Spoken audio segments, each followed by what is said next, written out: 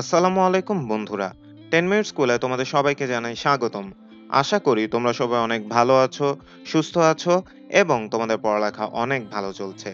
তোমরা গত ভিডিওতে বিপণন পরিবেশের প্রকারভেদ বা শ্রেণি বিভাগ সম্পর্কে জেনেছো। আমরা ব্যষ্টিক এবং সামষ্টিক এই দুটি বিপণন পরিবেশ সম্পর্কে দেখেছিলাম, কিন্তু বিস্তারিত আলোচনা করা হয়নি। তোমরা অনেকে হয়তো ধারণা করতে পারছ যে আজকে আমরা কোন বিষয় নিয়ে আলোচনা করতে পারি।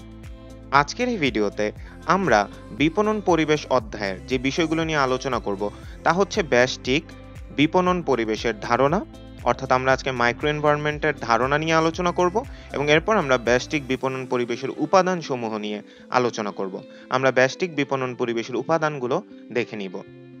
তো চলো দেরি না করে আমরা আমাদের আজকের এই ভিডিওটি শুরু করে দেই। প্রথমেই আমরা ব্যষ্টিক বিপণন পরিবেশের ধারণা নিয়ে আলোচনা করব। ব্যষ্টিক বিপণন পরিবেশের ধারণা বা মাইক্রো মার্কেটিং এনভায়রনমেন্ট বলতে কি বোঝায়? আমরা জানি ইংরেজি মাইক্রো শব্দের বাংলা প্রতিশব্দ হচ্ছে ব্যষ্টিক এবং ইংরেজি মাইক্রো শব্দটি এসেছে গ্রিক শব্দ মিক্রোস থেকে বা মাইক্রোস হতে, যার অর্থ হচ্ছে ক্ষুদ্র। বিপণন পরিবেশের নিয়ন্ত্রণযোগ্য পক্ষ, শক্তি এবং উপাদান নিয়েই ব্যষ্টিক পরিবেশ গঠিত। যে সকল নিয়ন্ত্রণযোগ্য পক্ষ, শক্তি ও উপাদান বিপণন কার্যক্রমে প্রত্যক্ষভাবে প্রভাব বিস্তার করে, সেগুলোকে ব্যষ্টিক পরিবেশ বলে। এবং পরিবেশের এই রকম পক্ষ, শক্তি ও পারিপার্শ্বিক উপাদান প্রত্যক্ষভাবে বিপণন কার্যাবলীর উপর প্রভাব বিস্তার করে। অর্থাৎ আমরা বলতে পারি ব্যষ্টিক পরিবেশ ওই সকল শক্তি সমন্বয়ে গঠিত, যেগুলো কোম্পানির সাথে ঘনিষ্ঠভাবে জড়িত এবং কোম্পানির ক্রেতা সেবা, সামর্থ্যে প্রভাব সৃষ্টি করে, যার মধ্যে রয়েছে সরবরাহকারী, বিপণন, মধ্যস্থ ব্যবসায়ী, ক্রেতার বাজার, প্রতিযোগী এবং জনগোষ্ঠী।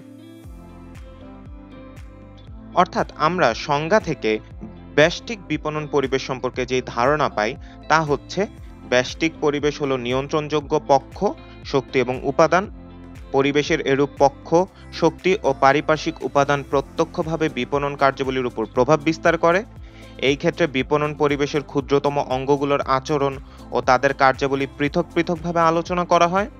ব্যষ্টিক পরিবেশের শক্তিগুলো প্রতিষ্ঠানের কাছাকাছি থেকে এর ক্রেতা দলকে সেবা দানের সামর্থ্যে প্রত্যক্ষ প্রভাব সৃষ্টি করে এবং এরূপ পরিবেশের মধ্যে রয়েছে মধ্যস্থ ব্যবসায়ী, প্রতিযোগী, ক্রেতার বাজার এবং প্রতিষ্ঠান স্বয়ং।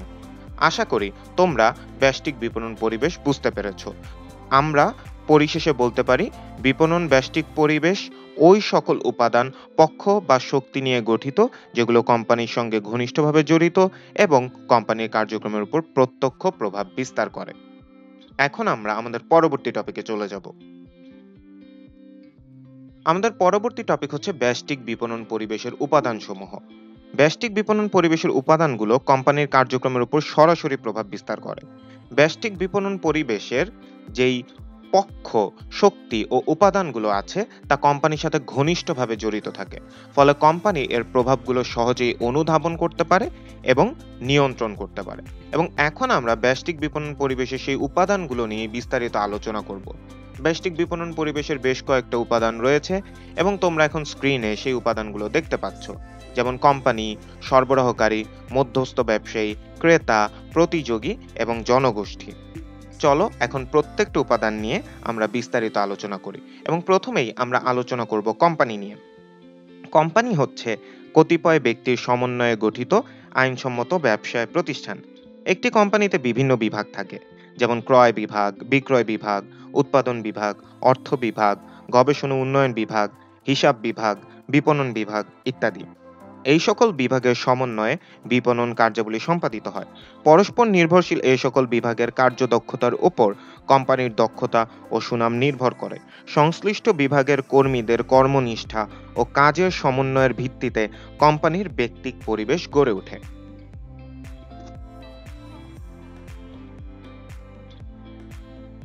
অর্থাৎ কোম্পানি ব্যষ্টিক বিপণন পরিবেশের একটি উপাদান। আরেকটি উপাদান হচ্ছে সরবরাহকারী।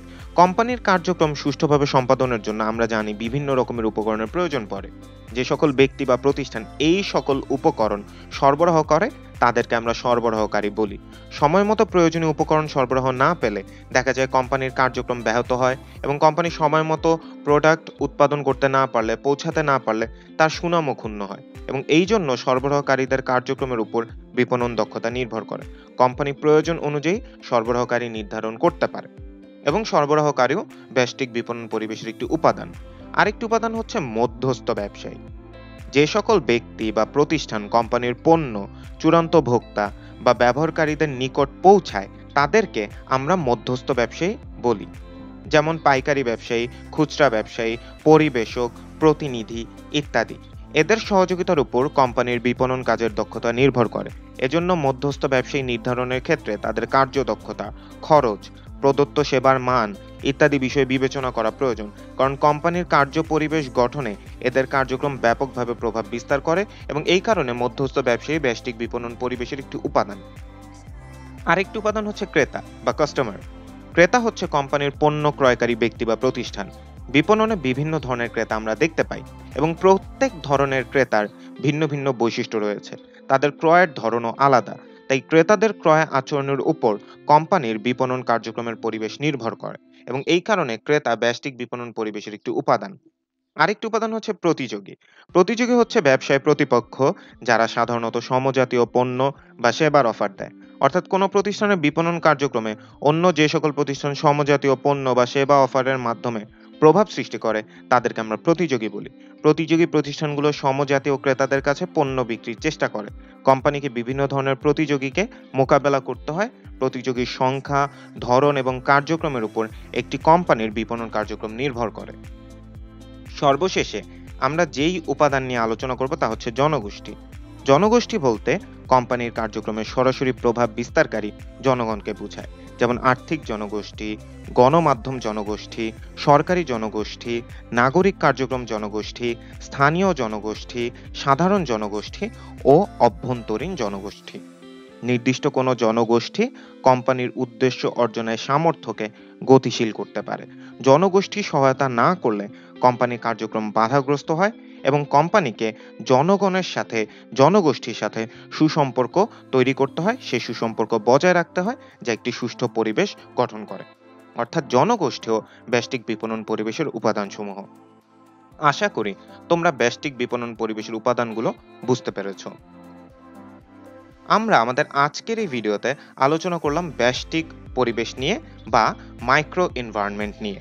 আমরা ব্যষ্টিক পরিবেশ সম্পর্কে জানলাম ব্যষ্টিক পরিবেশের উপাদানগুলো সম্পর্কে জানলাম, উপাদানগুলো নিয়ে বিস্তারিত আলোচনা করলাম। আশা করি আজকের ভিডিওর আলোচ্য বিষয় তোমরা সবাই বুঝতে পেরেছ এবং এই দুটি টপিকে তোমাদের আর কারও কোনো সমস্যা নেই। তোমাদের সবার সাথে পরবর্তী ভিডিওতে আবার দেখা হবে। সবাই ভালো থেকো, সুস্থ থেকো। আল্লাহ হাফেজ।